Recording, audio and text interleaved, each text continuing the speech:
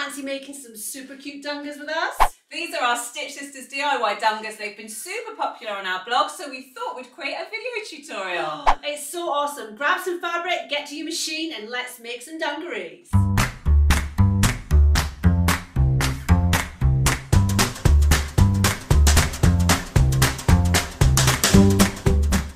First, you need to take your measurements. So before you can create your dungaree pattern, you're going to need three measurements and they're all really simple. Now I'm going to take Nikki's, but you could do oh. this for yourself if you were standing in a mirror or something like that. So the first measurement we're going to take is going to determine the overall length of your dungarees. And to work that out, we need to measure from the height of your underarm. Now, if you're not sure where that is, you can do what I've done here with Nikki and tie a piece of elastic around your chest, put it right up as far as it will go, and then that will be the perfect place to take your measurement from. Now you can see that the dungarees, a finished dungaree is actually finished below, but that's because the hem allowance is already built into this measurement. So all you need to do is measure from the underarm level, and you're going to take a tape measure and I'll just hold, hold it. it at the front and decide where you want your dungarees to end. Now we're going to add some hem allowance or turn up allowance later, so don't worry too much for now. What we're looking for is your finished dungaree length. So if I actually use the ones that Nikki's wearing to determine her overall length, I can see that 51 inches would be the length that she would want overall. Now yours will be different depending on your height, so it can be any measurement at all. Um, that's measurement number one. So the second measurement that we're going to take, whilst we've still got that up, and it's a bit of a funny one, is going to be your crotch depth measurement, okay? That sounds now, scary. It does a little bit, doesn't it? it's a bit funny, you can do it yourself, um, but the mm. best thing to do is put on a pair of trousers or shorts that actually has a crotch seam, so where your leg seams intersect, mm -hmm. because that's going to help you get the measurement. And we're going to measure from the same place, so if you hold that again. there, but this time we're going to run the tape measure through your legs. So I go into a squat position. and we want to see what the measurement is to get to that kind of centre, middle of your undercarriage, if you like. Lovely. Um, that's what you want to hear, isn't it? So let me uh, get down and tell you what oh, yours is.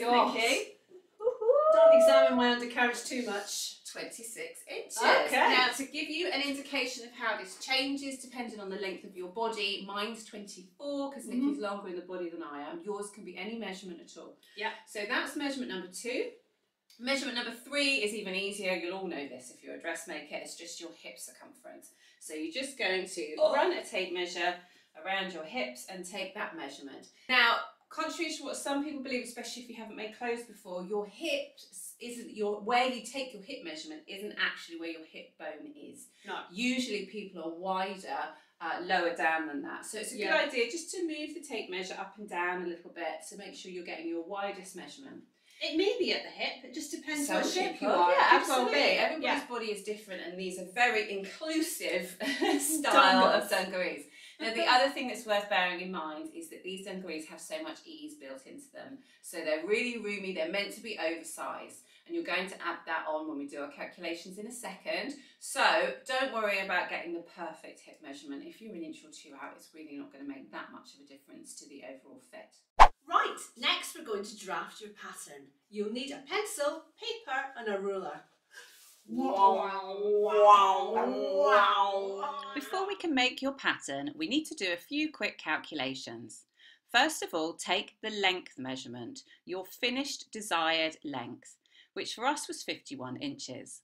Next decide if you want to add turn-ups. If you do, add on an extra 4 inches. Now work out the total, which for us is 55 inches. Next take your hip circumference measurement and then divide that by 4. So for us that's 10 and 3 quarter inches. We're going to add some ease, which is 5 inches, and then adding those two together we get a total of 15 and 3 quarter inches. Finally, add the crotch measurement you took, which for us was 26 inches. From our pattern paper, we need to make two rectangles, one for the front and one for the back. The length of your rectangles will be taken from the total length we worked out on the worksheets. Ours was 55 inches, and this will be the same for both the front and the back. For the front piece, the width is taken from the total on your worksheet, which here for us was 15.75 inches. But for the width measurement of the back, we are going to add one inch. So for us, it will be 16.75. So go ahead and cut two rectangles from your pattern paper with the measurements that we've just worked out. Starting on the front piece, label the left short edge the top, then label the top edge, the first long edge, the centre front, and then the opposite long edge, the side seam. This will help you figure out which way is which. If you included turn-ups in your calculation, you'll need to mark in the hemline 4 inches above the bottom edge of the paper. Starting at the centre front, on the top edge, measure and mark in 3 inches. So from this mark and running parallel to centre front, we want to measure out and mark our crotch measurement, which for us was 26 inches. Then from that line, square out to centre front. Now grab yourself something round, we're using this pot, to just curve off that corner. If your curve looks too deep, just try again with a larger circle, just like we've done here. At the side seam, measure 6 inches in at the top edge and make another mark. Now down the side seam, measure between 10 and 12 inches Depending on the length of your body, this will dictate the opening of your dungarees. So if you're longer in the body, go for 12, and if you're shorter, go for 10 or 11. Then from the mark on your side seam, draw a line two inches in. Now connect this to the mark at the top edge. Again, we want to curve off this sharp angle we've created. So grab back your circle and use that to create a small curve. Moving to the hemline, mark in three and a half inches on your hem. Take your ruler and then connect this to your crotch line. Now take your ruler and extend your crotch line all the way from centre front down to the side seam. This is to indicate where your dungarees will be at their widest. Now we want to mark two inches above and two inches below this line on the side seam. Back down at the hem, measure two and a half inches in on the side seam and then connect this to the lowest of your two marks. Then moving to the top of your side seam, measure one inch in on that line and then connect that to the higher of the two marks. That's your side shaping done for your dungarees. If you're adding turn-ups to your dungarees, we need to add a little bit of shaping. So if you're doing this, fold up the paper along the hemline and trace through the position of the legs onto this paper. So that's your front pattern done. Let's get it cut out. Let's just quickly label the front so we know we need to cut two in fabric. Moving on to the back, we're going to start again by labelling the top, the centre front and the side seam. We also need to draw in our hemline four inches above the bottom, but only do this if you've allowed for turn-ups. Moving back up to the top, we are again going to measure out from centre front, but this time we want to do four inches. This is because the back crotch needs to be deeper than the front crotch. Once again, we'll extend that line parallel to centre front until we reach whatever your crotch depth measurement was. Ours was 26. Again, we're going to square out to the centre front to create a right angle and then we can grab back our curve and soften that edge. We do want a deeper curve on the back, so use a bigger circle. This time at the top, we're going to measure in seven inches and then we'll measure down along the side seam whatever measurement we used on the front. So between 10 and 12 inches, whichever you chose. Again, we'll square out two inches and then connect that to our seven inch mark. Grabbing that curve again, let's round off that corner.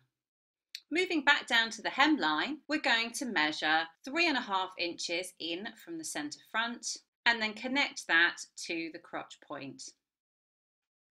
Once again, we will square out from the widest point of the crotch from the centre front all the way to the side seam.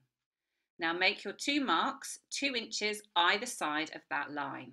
Now back at the hem, measure two and a half inches in from the side seam and connect this to the lower of the two marks. Then at the top of the side seam, measure in one inch and then connect that to the higher of the two marks. If you're using turn-ups, don't forget to add your leg shaping. Fold the paper back on itself along the hemline, trace in the leg shape, and then open it back out. Now go ahead and cut out your back. Let's add a label to the back, cut two in fabric. For the main pocket, draw a rectangle which is 8 inches wide by 9.5 inches deep. You can leave the pocket as a square, but if you want to add some shaping, find the centre on the bottom edge and then measure 2 inches up on each side. Connect the marks on the sides to the centre to form a V at the base of your pocket. Label this as your main pocket, of which you will need to cut one in your fabric.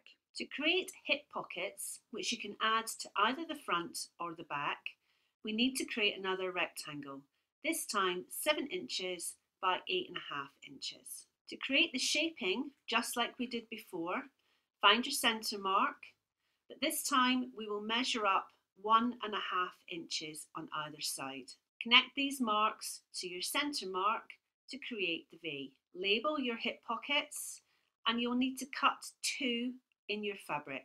The final pieces you'll need to cut is a strip of fabric that is 4 inches wide by 60 inches long. You can just cut one of these or you can cut two shorter lengths that are 4 inches by 30 inches. You will also need to cut a strip for your loops which is 2.5 inches by 10 inches. You don't need to make a pattern for these pieces, you could just cut them straight from the fabric. Next, it's time to choose some fabric. oh, no. No. yes! You will need two to three metres of any medium weight woven fabric. If your fabric is wide enough, you may be able to put your pattern pieces side by side. This will use considerably less fabric. If your fabric is not wide enough and you have a multi-way print, you could cut them on the cross grain. If your fabric is not wide enough either way, you will need to sit them and cut them underneath each other. This will of course use more fabric. Sometimes it helps to turn one of the pattern pieces over. This just helps them fit more snugly together. New to sewing or need a refresher? Then why not check out our free Learn to Sew class. We'll have you making friends with your sewing machine in no time. So now it's time to sew. So grab yourself a needle and thread. Don't be silly. Whoa! Take your main pocket and press under a quarter of an inch at the top edge. Then press under an inch and a quarter to create your hem. Top stitch the hem in place close to the fold. After top stitching, fold under one centimetre seam on all of the remaining four sides and press really well to get nice sharp corners. Repeat for your hip pockets if you're using them. Take your loop piece and fold it right sides together. Sew along the long edge at 1 cm seam allowance. Repeat this with your strap pieces, either your two short ones or your one long one. Once you've sewn your loop and your straps, then grab a rotary cutter or scissors and trim the seam allowance down to about half. To turn them through to the right side, we like to use this turning tool from Prym but you could just use a safety pin attached to one end and then fed back through itself. Once you've turned them all through, make sure that the seam is centred on the back and then give them all a good press flat. You'll need to tuck in one of the ends by about a centimetre before you press. Then top stitch each long edge and across the folded under edge on the straps. Take your two front pieces and lay them right sides together. Then pin and sew along the centre front crotch seam.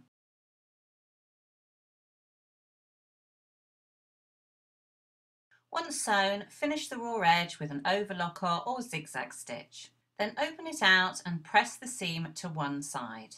Next we need to hem either side of the front. We're going to turn under by one centimetre and then turn a second time, press and stitch in place. Then at the top edge, press under one centimetre or three eighths of an inch and then again at one and a quarter inches and stitch close to the fold. Once that's sewn, it's time to attach your main pocket. Grab a ruler and measure 3 inches down from the top along the centre front seam. This marks the top of your pocket. To find the middle of your pocket, fold it in half, align it with the centre seam, pin your pocket in place, being careful to stay away from the folded edges. This will allow you to sew with your pin still in place so that your pocket doesn't move as you go. Top stitch the side and bottom edges of the pocket close to the folded edge. If you want your hip pockets to also be on the front of your dungarees, fold your front piece wrong sides together so that the right side of the fabric is facing you. Then to find the widest point, find the point of the crotch and then using a ruler, trace that back along to the same point on the side seam. Use a pin to mark a reference point. From that reference point, measure 5 inches further up your dungarees. This is going to be the top of your pocket. So grab a pin and position that somewhere inside the fabric to help you line up the top of your pocket. Line the top edge of your pocket up with your pin and then ideally you want your pocket to start one and a half inches in from the side seam. Measure that to make sure it's straight. Reaching between the layers to make sure you're only pinning the pocket to one side of your dungarees, go ahead and pin the pocket in place just as you did for the main pocket. Repeat with the other pocket on the opposite side. Then top stitch the side and bottom edges of the pocket as before. Now that your hip pockets are attached, we're going to move on to attaching our loops to the top hem. Grab back your loop piece and then fold it in half and cut into two pieces. Making sure it's straight, bring the two raw edges together and finish them with an overlocker or zigzag stitch. Once finished, we'll attach the loop to the underside of the hem. Match the finished edge of the loop up with the bottom edge of the hem and secure in place. Then on the front side, we're going to sew a box to secure it in place. Moving on to the back, we'll start again by laying them right sides together, then pin and stitch all along the centre back crotch seam. Once sewn, overlock or zigzag your edge to finish. Then open it out and press your seam to one side. Once again, you'll need to hem each of the edges with a double turn of one centimetre or three eighths and then again repeat the hem at the top with one three eighth turn followed by an inch and a quarter. Press and then top stitch close to the folded edge. We're now going to attach our straps to the back in the same way we attach the loops to the front. If you have one long strap, cut it in half and make sure you have two finished edges. Then finish the raw edge on each strap and align it with the bottom of the hem. But this time we want to turn it so that it matches the angle on the hem. This will allow it to go up over your shoulder. Once positioned correctly, pin in place and then stitch using a box as you did for the loops. Next, take your back and lay it on top of the front, right sides together. Pin along each of the side seams do this on both sides. Then stitch with a one centimetre or 3 eighths of an inch seam allowance. Once sewn, go ahead and overlock or zigzag to finish your raw edges. To sew the inside seam, we're going to start by matching the two crotch seams. Bring them together and line them up before securing them with a pin. Then pin and sew the inside leg seams. Once sewn, go ahead and overlock or zigzag.